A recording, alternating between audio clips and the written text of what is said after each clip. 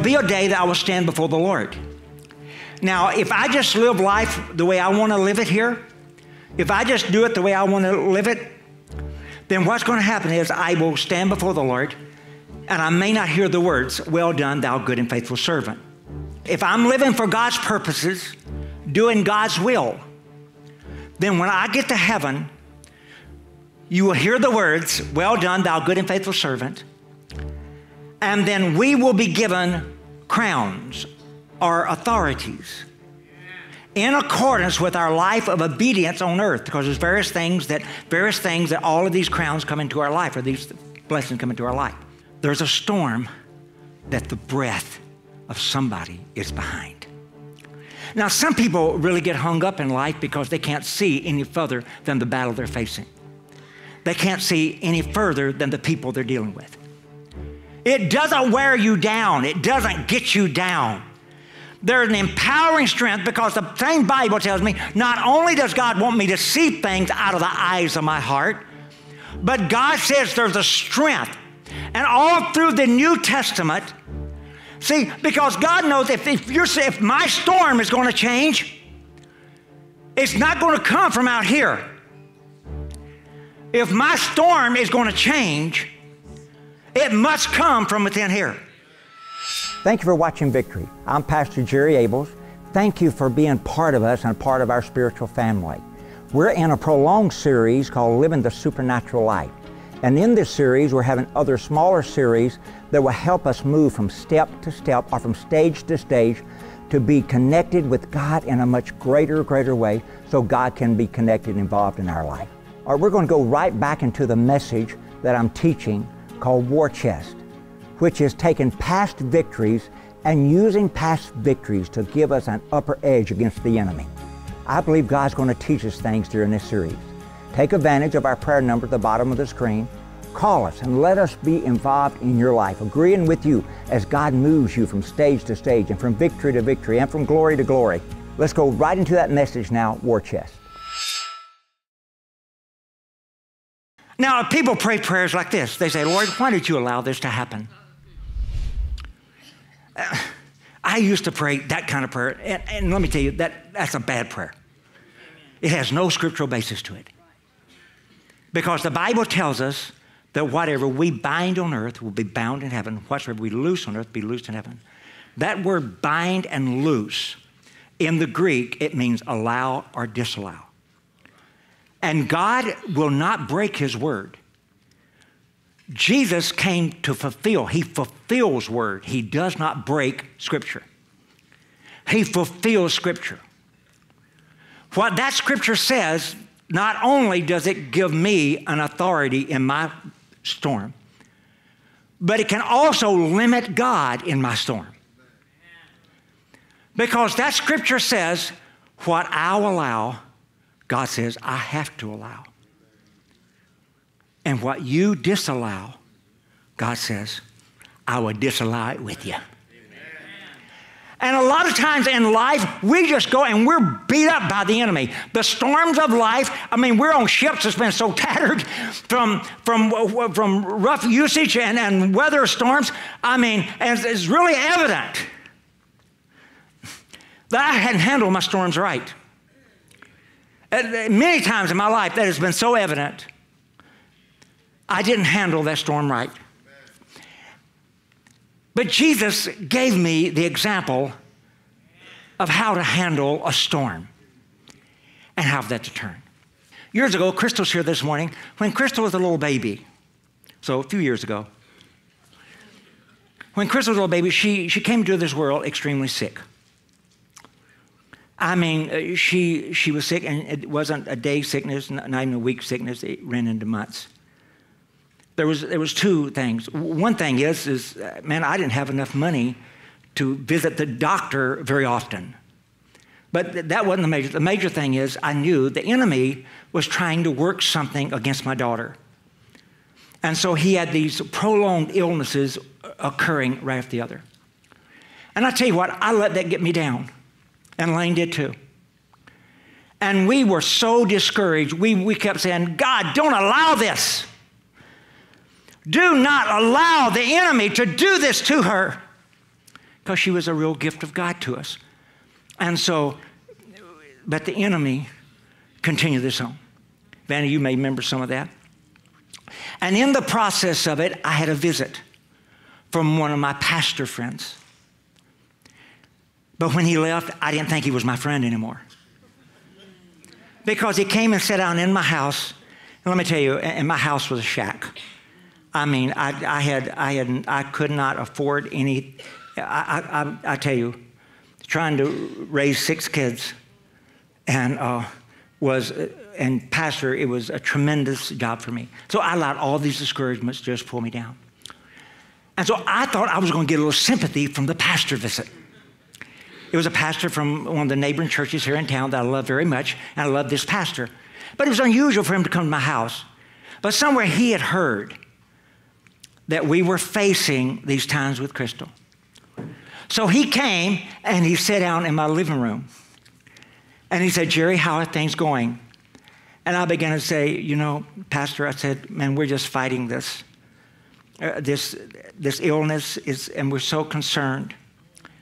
All of a sudden, he became like a linebacker in my house. He rose up and he said, Jerry Ables, you stop this. You quit allowing the devil to do this to your life. You take charge of this, Jerry. Man, I wanted to throw him out on his ears. he offended me greatly because he didn't do it with tact, and I was thinking if he was going to correct me, correct me with a little tact. He came to get on me. He knew what he came in my house for, and he came to get on me. And then I had some previous history with people misunderstanding me too. I can remember back years before that, God had put in my heart, Elaine I told you, we were pastoring months of our salvation. I mean, we got saved, and God did such a wonderful job, work in our life. Uh, Gob's a problem, but with a desire and a passion. Two months after I was saved, I was pastoring. And uh, it really wasn't by my choosing either. but I just, I just felt that I needed, Elaine and I both did, that we needed to give God our very best. So we pastored and lived off of $15 a week. And out of $15 a week, we had to find a house and everything, and $15 a week. And during that period of time, I tell you what, it was rough. I mean, God miraculously provided every, almost every day. I mean, man, we would come home and we would find, I, I tell you what, right before that period of time, I would literally drive to a four way stop and pick up money out of it. I mean, God knew. God knew that Jerry Lang, you're doing everything that you can do, and I'm going to come through for you. And, and He came through in so many miracle ways. But a pastor heard of it he gave me a call and he said, and he pastored a large church. And I was pastoring a very, very, very small church. And he said, Jerry, he said, I want you to come by my office. I said, wow, I'm being asked to come to the big guy's office. Wow. And I was so excited. I was so thrilled. I walked into his office and he said, Jerry Ables, you got to quit being lazy. You're letting your family suffer. And I admit there was a sense of truth, I knew that people would misunderstand what Lane and I's decision had been. But uh, I've had a lot of problems, but lazy's not been a big one in my whole life. But he began to get on me and ridicule me. And what I had considered holy, it seemed like he just took it and threw it in the mud and misjudged me. I walked out of that office. I cried and wept. I said, God, I was doing everything that I could do to try to do what you, I felt. I said, Lord, I can certainly be wrong. But Lane and I felt that we were to give our best for you. And we've been willing to raise these kids and, and let me tell you, and live in ash heaps. Literally, where we lived, we lived in a back room of the church we would take down our beds and put up Sunday school chairs on Sunday. And then we would take the, and the only bathroom we had was all the way at the front of the church.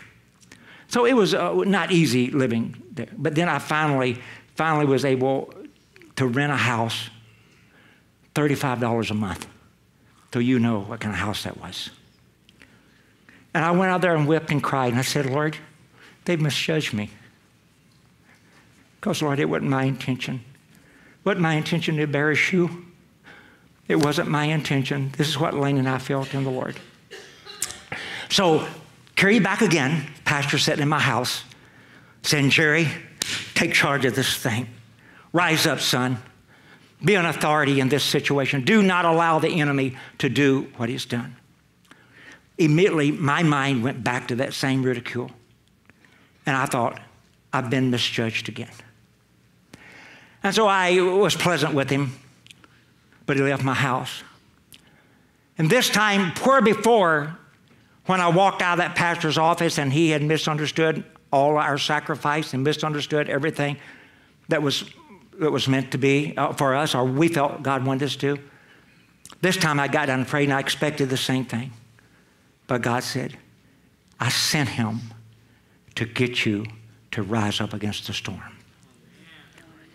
This storm is trying to take from you, Jerry, is trying to take your daughter from you. And unless you rise up, I cannot stand up against it. And so I, after that pastor left and the Lord dealt with my heart, I tell you what, Lane and I stood up. We said, Devil, no more. You are discovered. We've been able now to look past the sickness and see where the source of this problem really is. And the source of this problem is, devil, you've set an attack to steal my daughter from me, and I'm not going to allow it. And Lane and I began to take a spiritual authority that we desperately needed to. And let me tell you, almost immediately that thing broke off of Crystal's life and has not been back since. So praise God for people that will help us. Sometimes you have to live through the ones that our intentions may not be as well as that. But the major thing is, is that God helps us to become the people that God's called us to be, to be able to stand up in our battle. Amen?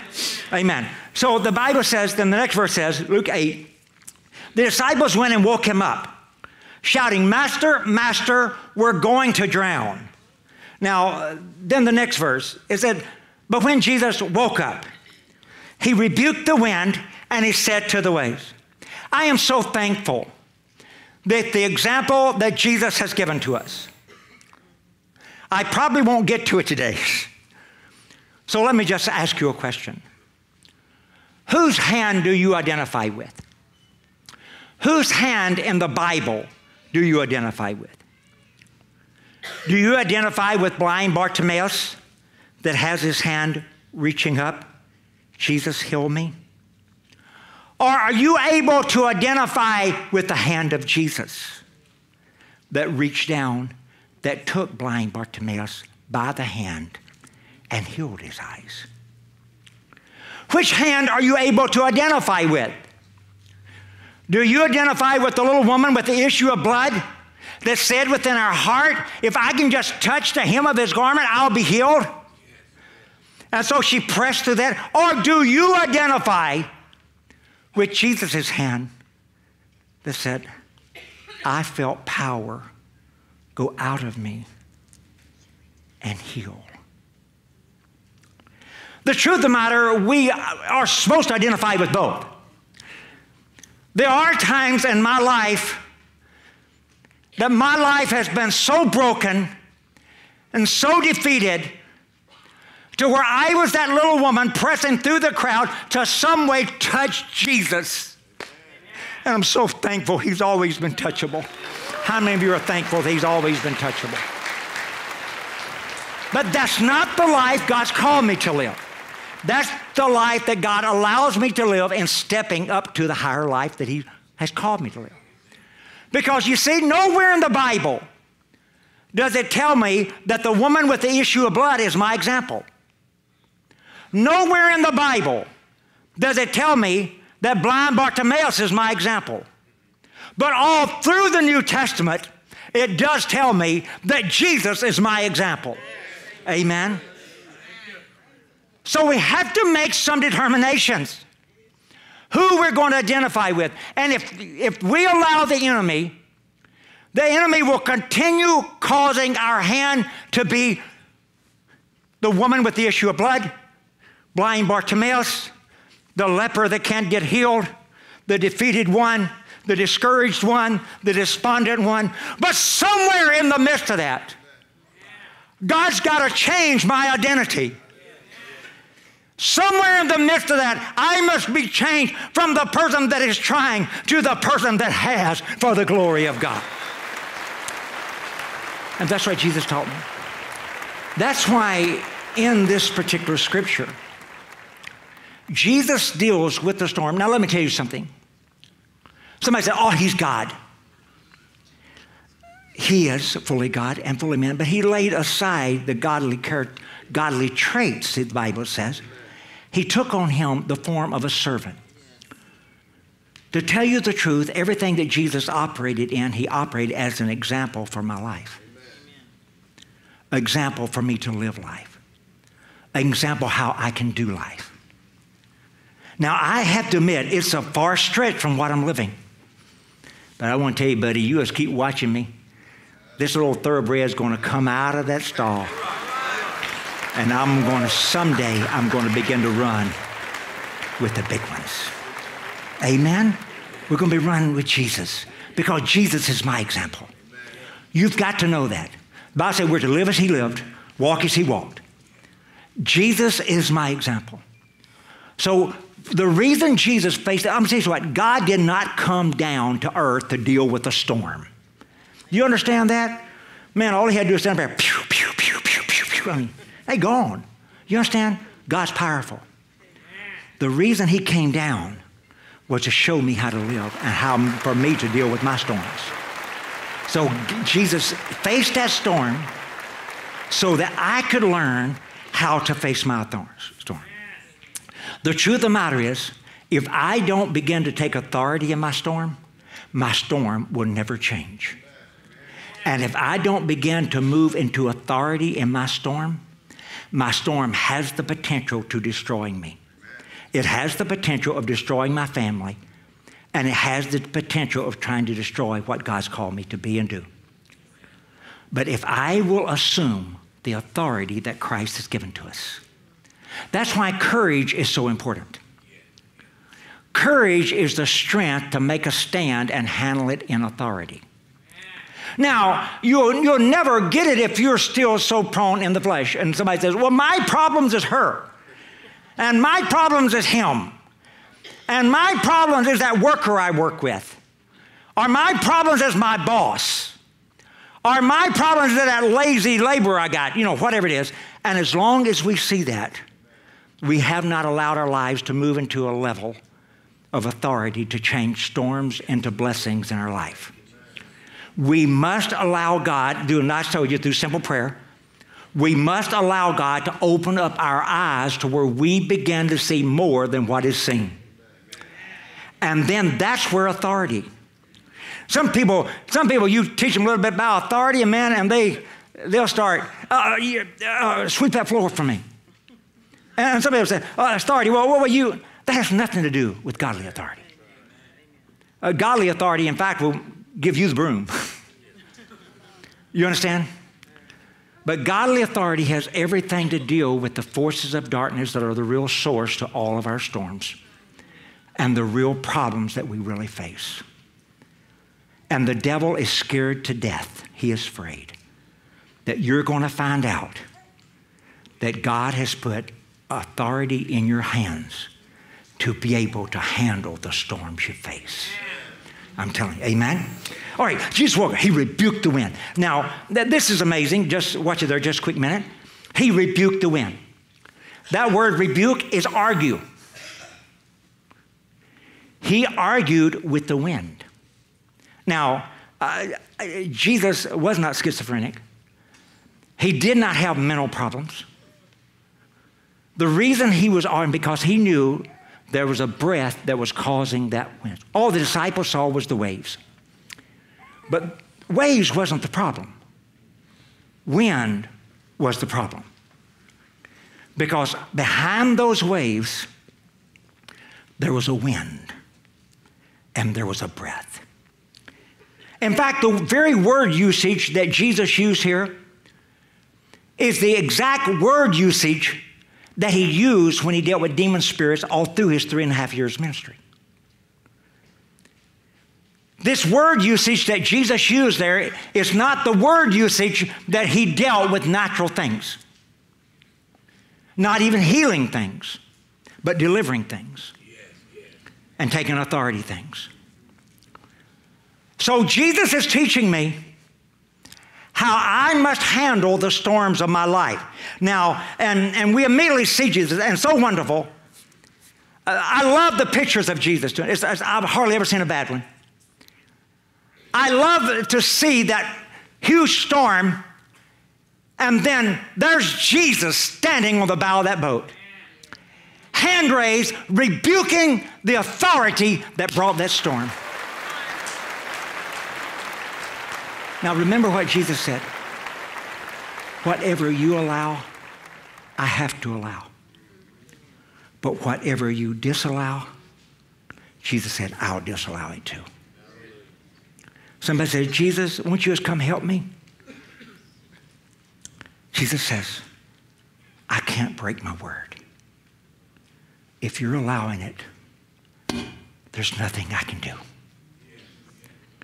And we stand as a beggar, not realizing that there's two hands that I can identify with. We stand as a beggar, refusing to allow God to change us from this to this. And the Lord says, this year, there's going to be much of this. But God's going to let you see, hear, and give you authority to stop it for the glory of God. It is amazing how the Lord can use things in our life that the devil brings against us to arouse the lion that God has built inside of us. Literally, when you get fed up, God at that moment can allow that lion to rise up in you. And you can begin to stand in the authority that Christ Jesus has given to each one of us as being a believer. That we're able to access through that power of God's great courage in us. And you can literally tell the devil no more. What situations has happened in your life? What circumstances has the devil came in and robbed from you and stolen from you and taken from you that which you knew that God had given to you and that you knew by God's word it was God's will for that to be in your life and the devil has come to resist it and to stand against it and to a lot of you he's just come to torment you to not allow you to enjoy the blessings that God has brought into your life all of those things are prompting that lion to rise up. We're so used to operating in that lamb, especially in prayer, knowing that humility with the Lord, being able to come to the Lord in that humble heart. But I'm talking about you rising up as Jesus did in the wilderness and telling the devil no more. Telling the devil no. Can I join you with doing that right now? Are you tired of the devil stealing from you, taking away from you, taken away from your children, robbing the relationship, coming in, building a wall between you and your husband, or between your husband and the wife, or against other people, or doing that on your job. Are you tired of the devil doing that? Then I want you to join me right now as we stand in authority. We're going to allow the Lord's courage to allow that lion to arise in us. Join with me as we make this stand in God's authority. So in the name of Jesus, I want you just speak this, if you would.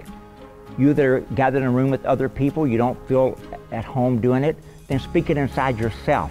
But know this, that the devil can't hear your thoughts. He has to hear your words. So as I make this stand with you, if you're in a room with others, then go outside that room later and declare this to the enemy also. All right? Say this with me. Say, in the name of Jesus, I will not tolerate you, devil, anymore. You've robbed from me, you've stolen from me, you've tried to take away the things that God has blessed me with. So, in the name of Jesus, I command you no more. I bind your power, believing that the Word of God declares that whatsoever I bind on earth will be bound in heaven. I declare this not aloud, and the Bible says that God will not allow it either. So, in the name of Jesus, I break the power of the enemy's assault and his attack off of my life. And now, Holy Father, I look to you with a spirit of humility, thanking you, Lord, that you've given such authority into men that love you and want to serve you, that you've not left us without help, but you've given us your name and you've given us your authority to stand against the enemy. And Lord, I want to thank you that you're moving into our life. And you're greater than anything that the devil has ever tried to take from us. And we receive by faith the very power of your restoration working in us. I love you, Jesus. I want to live for you with all of my heart. I commit myself in a much deeper way as you have committed yourself to me in such a powerful way. In Jesus' name I pray, amen, for the glory of God. I believe as you stand in authority, not only does heaven notice, but hell notices too. And the devil literally has to flee. That's what the Bible says. Resist him, stand against him, and he will flee from you. Call one of our prayer counselors right now. Call us. Call us on that number on the bottom of your screen and say, hey, I'm making a stand, and let us agree with you. There's so much power. You've got to use spiritual things in your life. There's so much power that comes in agreement. So call us on that number on that bottom of the screen and say, I'm making a stand. I just needed somebody to stand with me.